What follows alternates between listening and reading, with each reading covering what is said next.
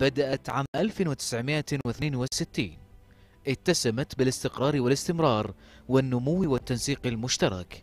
العلاقات السعودية الكورية التي وصفت بالاستراتيجية سيما وأن الرياض سيول حافظتا بنجاح وعبر ما هو أكثر من خمسة عقود على تعاون مستدام. شراكة مستقبلية تستنهض فكرا وثقافة تضع نصب عينيها عملية التنمية لأنها تصبغ الإنسان المعاصر بصبغات العصر وأدواته وآلياته لتجمع وفق توجه واضح بين الأصالة والمعاصرة والحداثة والحفاظ على الجذور.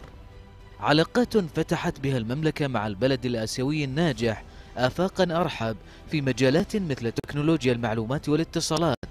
بالإضافة إلى الرعاية الصحية وعلوم وتكنولوجيا الدفاع حتى أصبحت كوريا الجنوبية أكبر الدول المستوردة للنفط بالإضافة إلى عدد من الصادرات الأخرى. كما تستورد المملكة من كوريا الجنوبية مختلف السلع مثل السيارات والمواد الصناعية والأنسجة وغيرها.